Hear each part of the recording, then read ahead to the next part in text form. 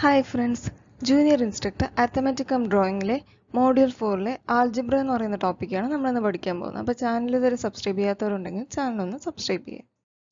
ഇന്ന് നമ്മൾ ഫസ്റ്റ് നോക്കാൻ പോകുന്നത് ഓൾജിബ്രയെ കുറിച്ചാണ്. അപ്പോൾ എന്താണ് algebra algebra is the part of mathematics in which letters and other general symbols are used to represent numbers and quantities നമ്പേഴ്സിനെ അല്ലെങ്കിൽ ക്വാണ്ടിറ്റീസിനെ നമ്മൾ സിമ്പിൾസ് അല്ലെങ്കിൽ ലെറ്റേഴ്സ് വെച്ച് റിപ്രസെന്റ് ചെയ്യുന്നതിനെയാണ് നമ്മൾ എന്തെന്ന് പറയുന്നത്?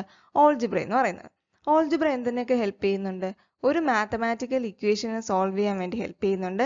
അല്ലെങ്കിൽ ഇപ്പം അൺനോൺ ആയിട്ടുള്ള ക്വാണ്ടിറ്റീസ് അല്ലെങ്കിൽ ബാങ്ക് ബാങ്ക് ഇൻട്രസ്റ്റ് പിന്നെ പ്രൊപ്പോർഷൻസ് പേഴ്സന്റേജ് ഇതൊക്കെ ഡിറൈവ് ചെയ്യാനും ഇത് ഹെൽപ്പ് ചെയ്യുന്നുണ്ട്. അപ്പോൾ എക്സാമ്പിൾസ് പറയുകയാണെങ്കിൽ സെവൻ എക്സ് മൈനസ് വൈ പിന്നെ X cube minus Y square ഒക്കെയാണ് ഓൾജിബ്രയുടെ എക്സാമ്പിൾസ് നെക്സ്റ്റ് നമ്മൾ നോക്കാൻ പോകുന്നത് പാരാന്തസിസ് ആൻഡ് ഗ്രൂപ്പിംഗ് സിമ്പിൾസ് ആണ്. അപ്പോൾ symbols which indicate that certain addition and subtraction operation should proceed multiplication and division അപ്പോൾ നമ്മൾ സാധാരണ ചെയ്യുന്നത് എങ്ങനെയാണ്?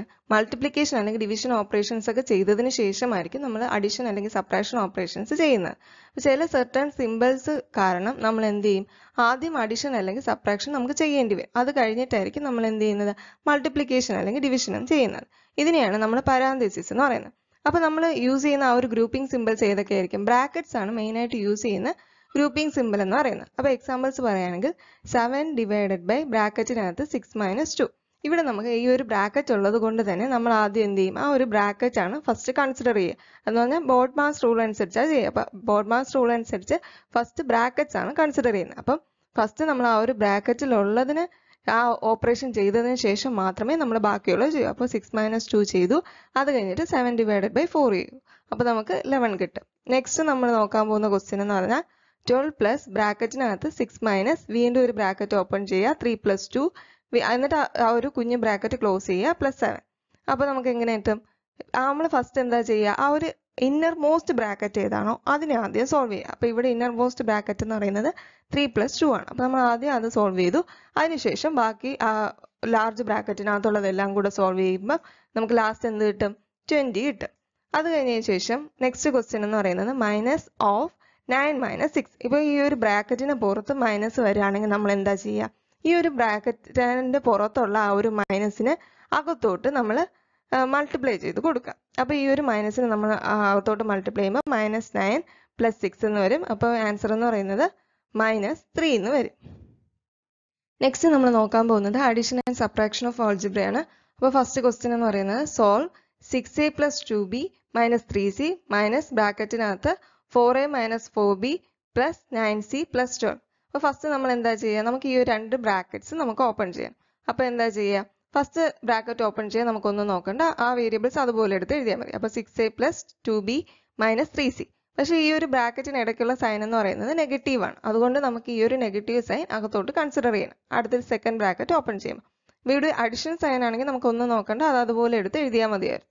അപ്പോൾ ഇവിടെ ഈ ഒരു മൈനസ് സൈൻ നമുക്ക് അകത്തോട്ട് കൺസിഡർ ചെയ്യാം. അപ്പം മൈനസ് ഫോർ എന്ന് വരും.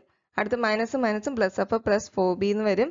അടുത്ത് മൈനസും പ്ലസും മൈനസ് വരും. അപ്പോൾ മൈനസ് നയൻ സി അത് കഴിഞ്ഞതിന് ശേഷം വീണ്ടും പ്ലസും മൈനസും ആണ് വരുന്നത്. അപ്പോൾ മൈനസ് ട്വൽവ് വരും. എന്നിട്ട് നമ്മൾ എന്താ ചെയ്യുക? ഈ ഒരു ലൈക്ക് ടേംസ് തമ്മിൽ നമ്മൾ ഓപ്പറേഷൻ ചെയ്യുക. ഏതാണോ ഓപ്പറേഷൻ അത് അഡിഷൻ ആണെങ്കിൽ അഡിഷൻ ചെയ്യുക സപ്രാക്ഷൻ ആണെങ്കിൽ സപ്രാക്ഷൻ ചെയ്യുക. അപ്പോൾ നമുക്ക് എന്ത് കിട്ടും? Answer two A plus six B minus twelve C minus twelve കിട്ടും. നെക്സ്റ്റ് നമ്മൾ നോക്കാൻ പോകുന്നത് മൾട്ടിപ്ലിക്കേഷൻ ഓഫ് ഓൾജിബ്രയാണ് അപ്പോൾ ഫസ്റ്റ് ക്വസ്റ്റ്യൻ നോക്കാം. Multiply two A square plus nine A plus ten by four A first നമുക്ക് ആ ഒരു ക്വസ്റ്റ്യൻ അതുപോലെ തന്നെ എടുത്തെഴുതാം. അതിനുശേഷം നമുക്ക് ഈ ഒരു ഫോർ എനെ ഈ ഒരു ബ്രാക്കറ്റിനകത്തോട്ട് മൾട്ടിപ്ലൈ ചെയ്ത് കൊടുക്കാം.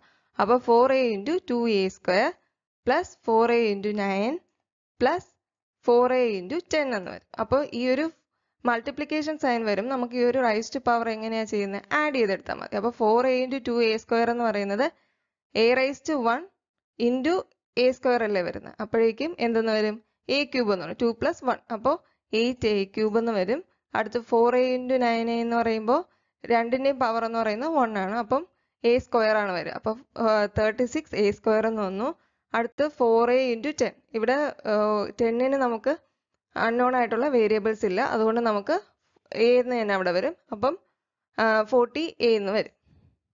നെക്സ്റ്റ് നമ്മൾ നോക്കാൻ പോകുന്നത് ഡിവിഷൻ ഓഫ് ഓൾജിബ്രയാണ് അതിൽ ഫസ്റ്റ് ക്വസ്റ്റ്യൻ എന്ന് പറഞ്ഞാൽ solve eight X square Y cube by minus two X നമ്മൾ ഫസ്റ്റ് ആ ക്വസ്റ്റ്യൻ അതുപോലെ എടുത്തെഴുതി.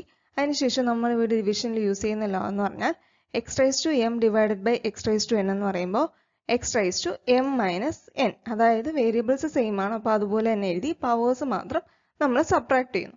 അപ്പോൾ ഫസ്റ്റ് നമുക്ക് ആ ഒരു വേരിയബിൾസിന്റെ കേസിൽ നോക്കേണ്ട. എയ്റ്റ് ബൈ മൈനസ് ടു എന്ന് അതുപോലെ എഴുതി ഡിവൈഡ് ചെയ്യാം. അപ്പം ഇനി നമുക്ക് ശ്രദ്ധിക്കേണ്ടത് ഈ ഒരു പവേഴ്സിന്റെ കാര്യത്തിലാണ്. അപ്പോൾ എക്സ് സ്ക്വയർ ഇവിടെ എക്സ് ആണ്. അപ്പോൾ X raise to two minus one എന്ന് വരും. അടുത്ത ഒയുടെ കേസ് വരുമ്പോഴോ? O raise to three minus one എന്ന് വരും. അപ്പോൾ ആൻസർ എന്ത് കിട്ടും? Minus four X Y square എന്ന് കിട്ടും.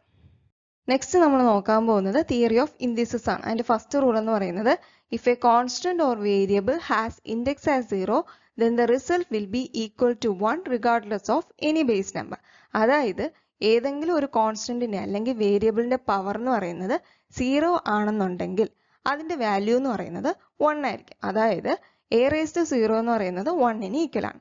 ഇനി നെക്സ്റ്റ് റൂൾ എന്ന് പറയുന്നത് if the index is negative value then it can be shown as the reciprocal of the positive index raise to the same value അതായത് ഇപ്പോൾ ഒരു വേരിയബിളിന്റെ പവർ എന്ന് പറയുന്നത് നെഗറ്റീവ് ആണെങ്കിൽ നമ്മൾ എന്ത് ചെയ്യുക? അതിന്റെ റെസിപ്രോക്കൽ എടുക്കുക. അപ്പോൾ നമുക്ക് ആ ഒരു നെഗറ്റീവ് സൈൻ മാറും.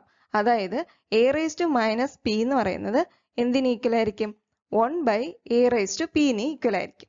ഇനി തേർഡ് റൂൾ എന്ന് പറയുന്നത് to multiply two variables with the same base we need to add it add its powers and raise them to that base അതായത് ഇപ്പൊ നമുക്ക് സെയിം വേരിയബിൾസ് തമ്മിൽ മൾട്ടിപ്ലൈ ചെയ്യണം. പക്ഷെ അതിന്റെ പവേഴ്സ് മാത്രം ഡിഫറെന്റ് ആണ്. അങ്ങനെയുള്ള കേസിൽ ആ ഒരു ബേസ് വാല്യൂവിനെ നമ്മൾ എന്ത് ചെയ്തു? അതുപോലെ തന്നെ എഴുതി. എന്നിട്ട് അതിന്റെ പവേഴ്സ് തമ്മിൽ മാത്രം നമ്മൾ ആഡ് ചെയ്തെടുക്കും.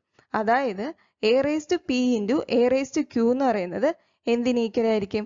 A raise to p plus ക്യൂവിന് equal ആയിരിക്കും. തിയറി ഓഫ് ഇൻഡിസസിലെ ഫോർത്ത് റൂൾ എന്ന് പറയുന്നത് to divide two variables with same base we need to subtract the power of denominator from the power of numerator and raise it to that base അതായത് ഇപ്പോൾ നമുക്ക് രണ്ട് same variables തമ്മിൽ നമുക്ക് divide ചെയ്യണം.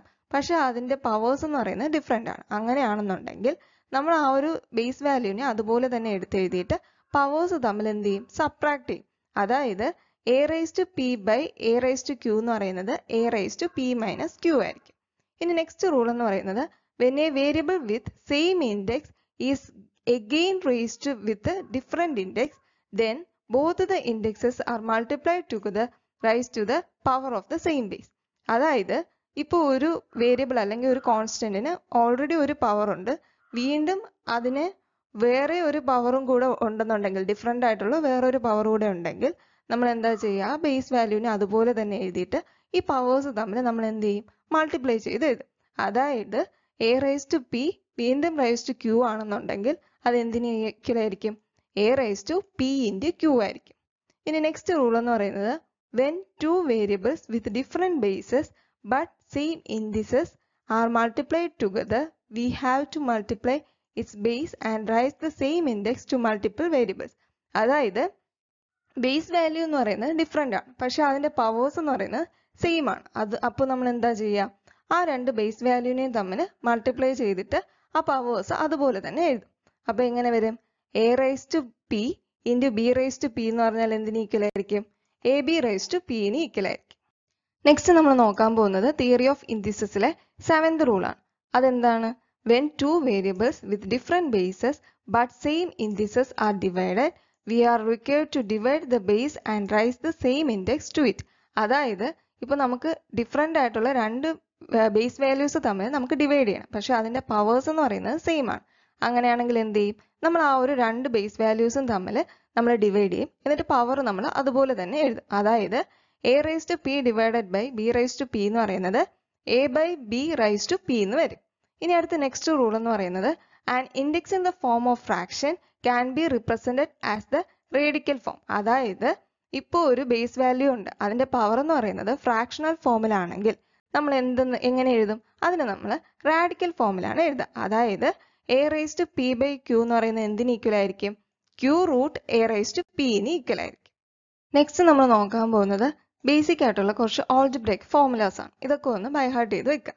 അപ്പോൾ ഫസ്റ്റ് വൺ എന്ന് പറയുന്നത് a plus b the whole square is equal to a square plus two a b plus b square അടുത്തതെന്ന് പറയുന്നത് a minus b the whole square എന്ന് പറയുന്നത് a square minus two a b plus b square ആണ്.